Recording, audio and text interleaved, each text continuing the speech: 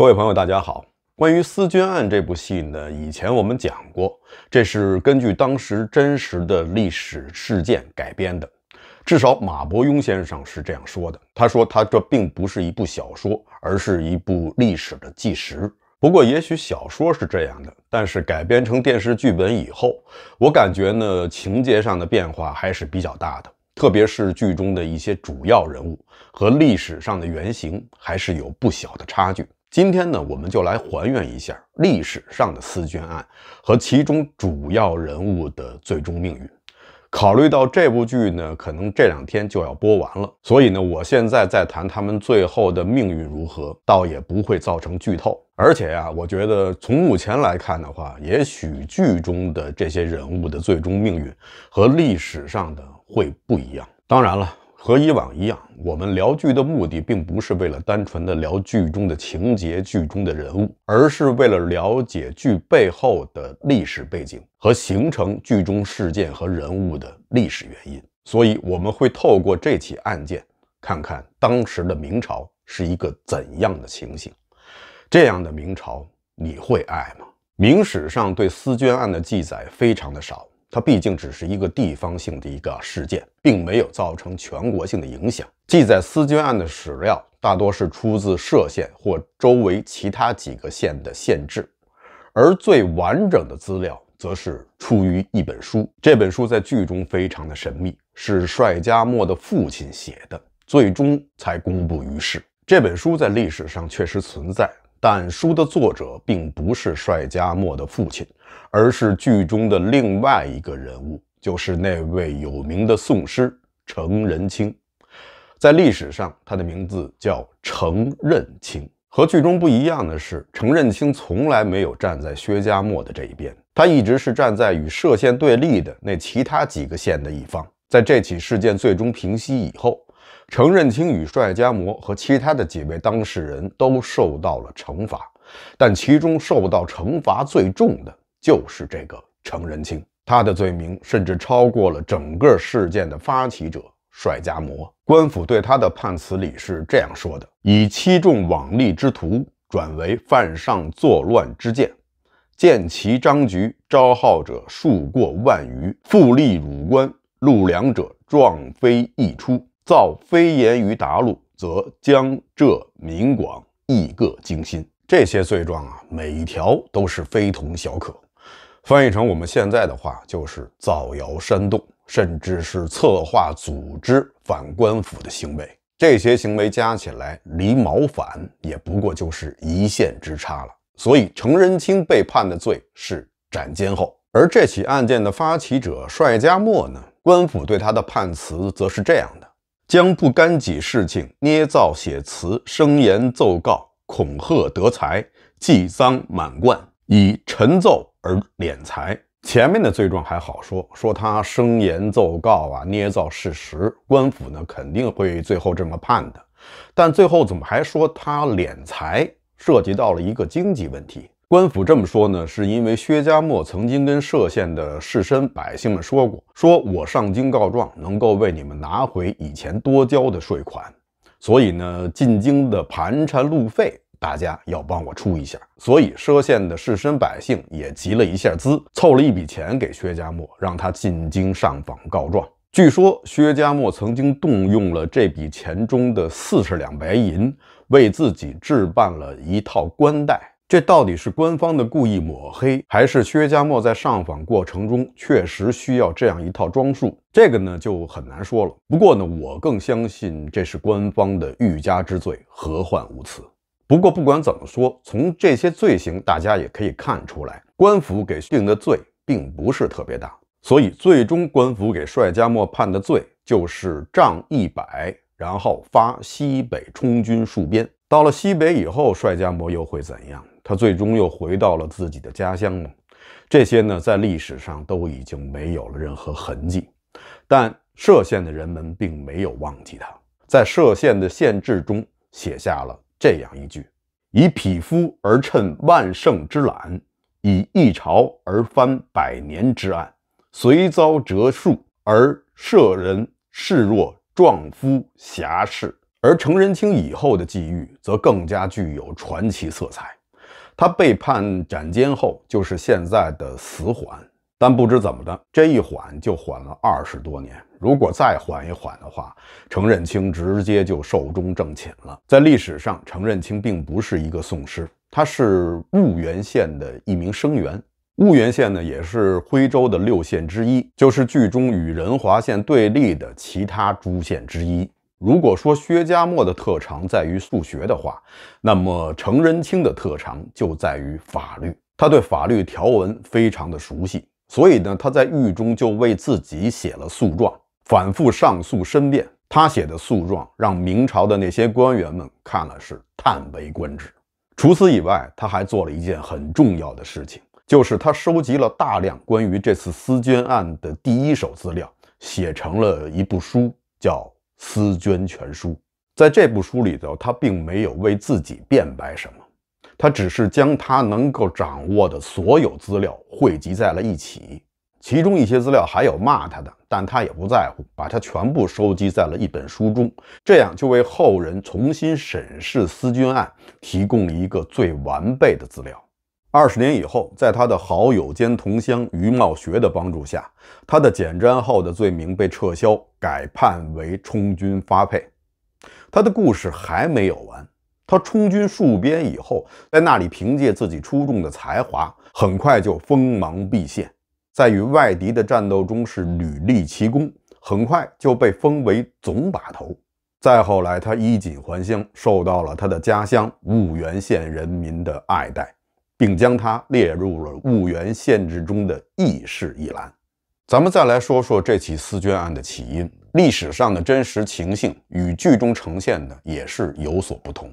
先来说说这起案件的所谓肇事者帅家模。据歙县的县志记载，帅家模此人少于心计，细入豪芒，精通巧力。但实际上，历史上的他所谓的少有心计，很可能只是他的一个性格上面的原因，绝对不是他的智商或者是情商有什么问题。这个呢，一会儿我们再具体的来说。在历史上，帅家模之所以要进入价格库查看这些数据，是因为他想报考这个县的吏员。在明朝时期啊，如果一个人想要去政府机关做事，一般呢是通过几个途径。如果你想做官的话，那自然更多的是要通过科举，中了进士或者是中了举人以后，有可能就会授予官职。再一个呢，就是通过蒙蔽，你有一个好爸爸，将来也有可能做官。如果做官不成，比如说科举考试落榜的那些人，他们呢也可以考取吏员。各级官府中都需要一些具体做事的人员，这些人呢就被称为吏。吏通常指的是那些能写会算的人。而那些衙役、捕快、狱卒，这些人呢，也有一个名称叫虚。虚吏就是在各级政府中负责具体干实事的那些人。这些人一直被做官的人看不起。本来嘛，就是文人相轻，做官的人大部分都是进士出身、同进士出身，是考场上的得胜者，对那些失败者本来就不放在眼里。比如说，在宋朝，官的地位很高，而吏的地位就非常的低。这种情况到了元朝就有了改变。元朝的蒙古人看不起读书人，认为食如九盖，而且今已如王。这样，那些读书人中的翘楚，能够考上进士的人，反而被元朝的蒙古人看不起；而那些注重实际、从事具体工作的吏，反而被元朝人看重。所以啊，元朝基本上汉人四品以下的官员都是从吏员出身的。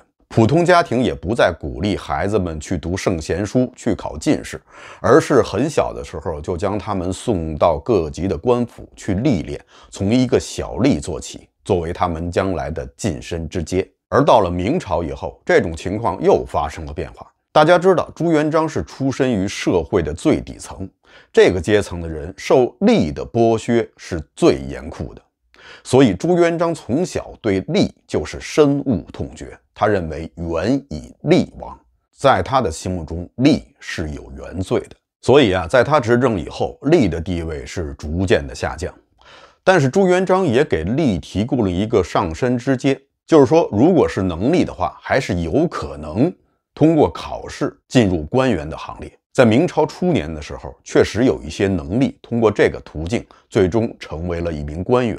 但是，即便是通过这个途径，出身于吏的官员最多也只能做到七品，前提还是他要出自于一品的官僚机构。所以说，正七品就是吏员的天花板了。即使是这样，到了明朝的中后期，吏连个七品也捞不到了，因为到了那时候，通过科举的读书人是越来越多。这些人还没有足够的职位来安排他们呢，就更别说那些吏了。所以呢，作为吏员，政治上的前途已经是非常的渺茫了。那么其他方面呢？很多的吏员是俸禄微薄，甚至是没有俸禄的。有些人甚至是自己花钱捐一个吏员。那么没有俸禄，他们靠什么活着呢？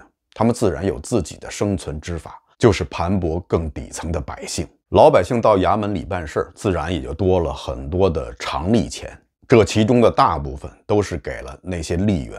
这样的话，吏的社会形象也就变得越来越差。到了清朝的时候，吏的地位越发的卑贱。在清朝有规定，凡是出自于吏员的家庭是不可以参加科举的。不仅如此，明清的统治者还刻意的利用吏的社会形象和社会地位。因为吏呢是处在官府与百姓之间矛盾的最前列，他们直接承受百姓的愤怒，所以最高的统治者就运用了一种叫以贱压良的统治术。简单的说，就是刻意的把利的地位压低，他们是贱，而百姓是良，这样那些被贱吏欺负的老百姓就会产生一种心理平衡，认为自己至少是道义上的胜利者。就像《阿 Q 正传》中阿 Q 所说的：“老子是被孙子欺负了。”这种精神胜利法，这种被刻意制造出来的心理平衡，也就能够有效地模糊统治者与被统治者之间矛盾的焦点，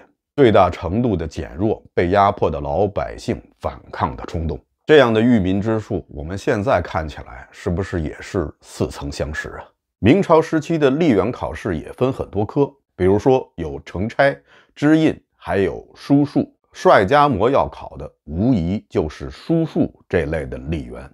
可能是在朋友的帮助下，帅家模进入了价格库，然后就一头扎入了那些枯燥的数字之中。他是想通过熟悉这些实际的数字以及各个不同的科目，来为自己将来的工作做一次岗前培训。然后他就发现了问题。他首先发现了有一个叫夏粮生疵的条目，这个条目记录的是在至正年间，歙县呢有一年因为天灾。减产，所以应交的税粮就没有交足。至正这个年号是元顺帝的第三个年号，也是他的最后一个年号。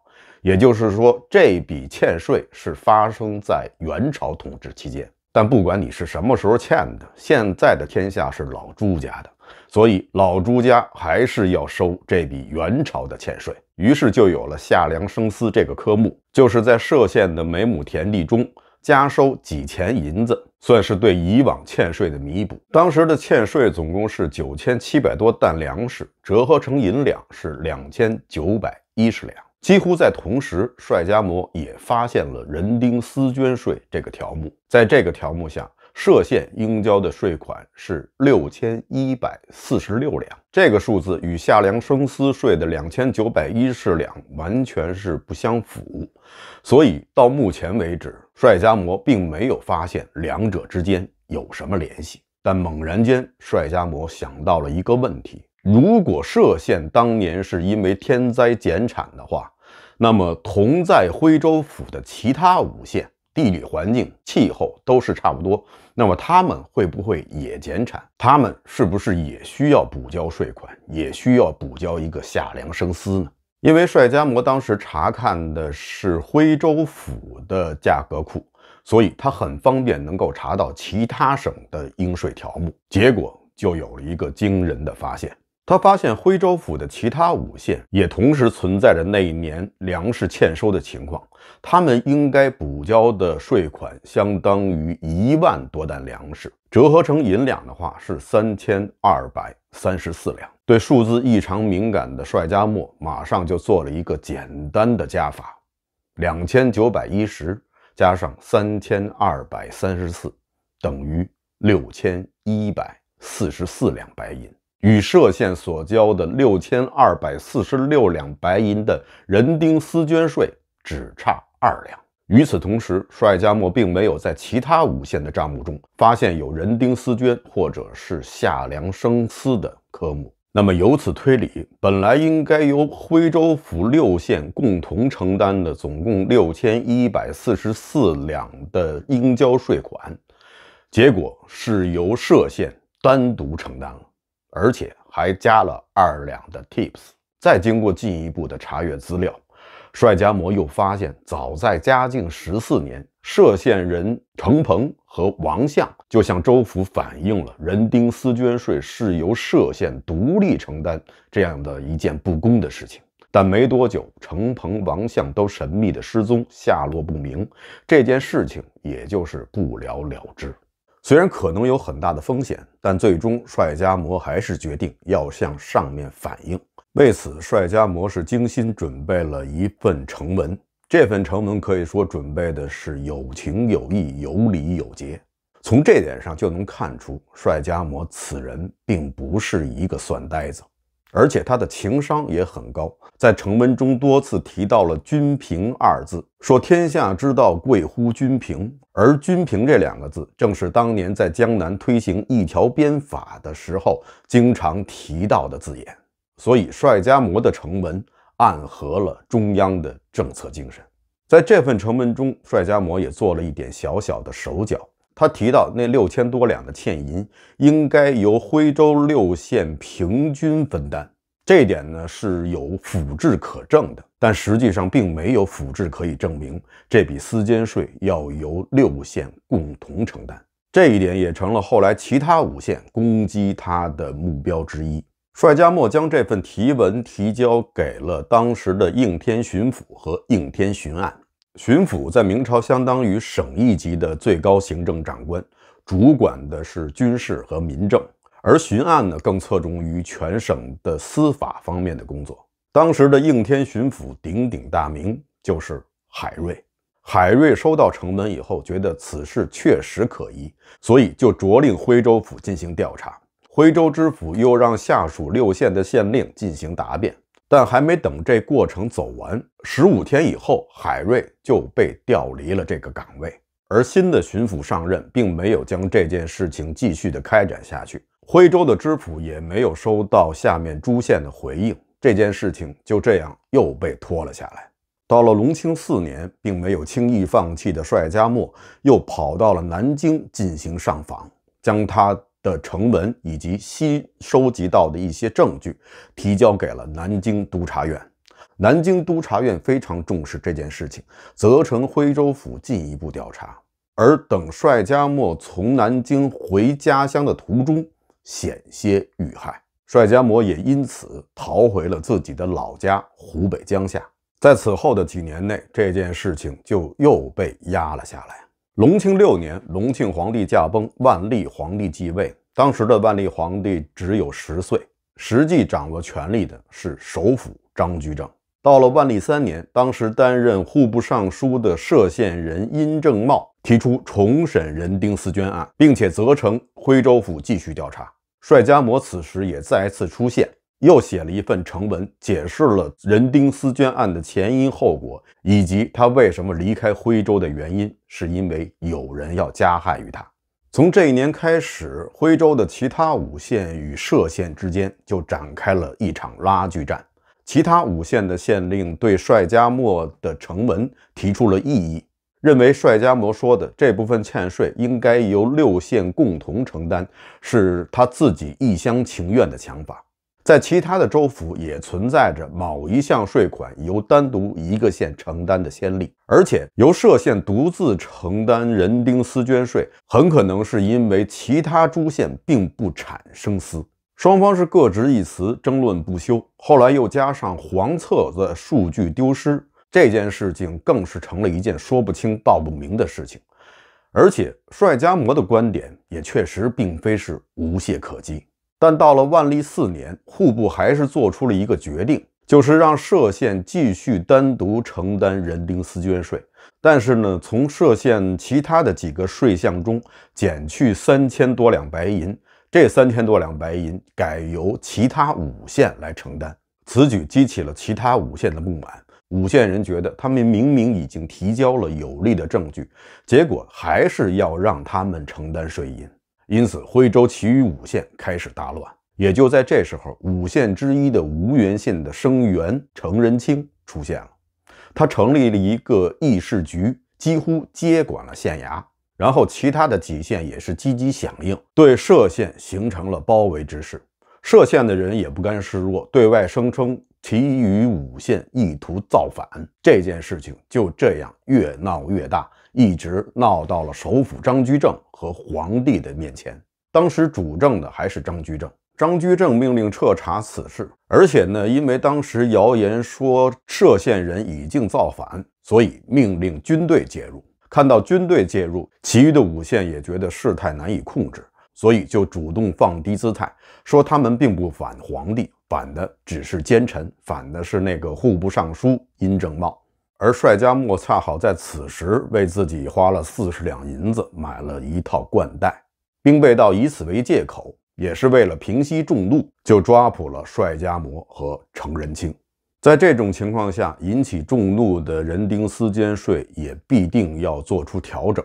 在之后又相继出台了几套方案，但每个方案因为都要求其他五县负担一部分的税银，都遭到了五县的强烈反对。最终到了万历七年，户部提出的由歙县。独立承担全部的人丁私捐税六千多两，而原本由歙县负担的两千五百三十两的军平费，改由徽州府的其他两个衙门负责承担，并不是由其余的五县来负担。这下这个方案才最终确定了下来。那么，是不是说歙县和其余的五县取得了最终的胜利，成了最大的受益者呢？其余的五县应该是。但歙县并不是。实际上，当徽州府的两个承担军平银的衙门最终无法承担这笔开支的时候，这笔钱最终还是落到了歙县的头上。虽然不叫人丁私捐税，但这笔金额还是加在了船税和其他几个税种的上面。说到底，还是歙县人的负担。据史料记载，这个税歙县人一直交到了太平天国时期。私捐案就这样结束了。帅家模以及程仁清这样的不知深浅、没有摆正自己位置的升斗小民，也得到了在明朝这种制度下他们所应该得到的惩罚。私捐案的最终解决，也为后世的人们再一次提供了一个成功的范例，就是解决问题有时候可以非常的简单，你只需要解决掉提出问题的人。居于庙堂之上的张居正时刻关注着私捐案的进展。按理来说，一个几千两税银的案子不足以引起首辅大人的如此关注，但张居正的心中却下着另外一盘棋。在他的潜意识中，甚至是希望这个私捐案能够闹得越大越好，因为闹得越大，那么对他下一步将要进行的财税改革。将提供一个更好的舆论准备。在他心中酝酿已久的财税改革方案，就是后世闻名的一条鞭法。一条鞭法并不是张居正首创，那是在明朝嘉靖年间由赐府贵鄂首先提出的，也曾经在几个地方进行过试点，但因为受到了既得利益者的重重阻挠，最后这个方案并没有在全国铺开。而恰好此时轰动朝野的私捐案暴露出了明朝税制方面的诸多问题，所以此时从官府到民间都有理由期待一个新的财税制度。于是，在私捐案尘埃方方落定之时，一条鞭法就在全国普及开来。一条鞭法其实说起来非常简单，就是将以往的各种苛捐杂税、徭役全部折算成白银，核算到每亩的土地上。这样呢，就可以避免官吏们在征收这些赋税的时候对民间的克扣盘剥，又可以从那些拥有大片土地的地主豪绅身上征收到更多的税。当然，一条鞭法的前提就是要重新丈量土地，这正是那些地主豪绅们不希望看到的。但现在在张居正的强力推动之下，已经是势在必行。一条鞭法的实施为已经衰弱的大明王朝打了一针强心剂。随着财政收入的增加，政治经济的矛盾都有所缓和。实行一条鞭法的时候是在公元一千五百八十一年，清兵入关是在公元一千六百四十四年。如果没有一条鞭法的话，有些专家认为，可能明朝根本就到不了一六四四年。所以，从某种意义上来说，一条鞭法实际上是生生的为明王朝续了六七十年的国祚。但大厦将倾，独木难支，系统性的问题必须通过系统性的解决。个别人的灵光一闪，并不能够阻碍大局的发展。此时的明王朝就像一个得了动脉硬化的病人，他的血管已经变得狭窄无比，各处供往心脏的血液都淤积在了中途。而张居正的改革就好像是为这个病人架设了很多条的心脏支架，但不管你架设了多少条支架，他都无法改变明王朝暴饮暴食的习惯，也不能逆转系统性坍塌的结局。就这样，明王朝这艘已经行驶了两百七十七年的千疮百孔、病入膏肓的破船，终于不出意外的驶向了落日的余晖之中。关于明朝呢，还有很多有趣的话题，感觉上是言犹未尽。不过呢，没关系，咱们可以一起期待下一集。好的，以上就是本期节目的全部内容，感谢大家收看，欢迎大家点赞订阅。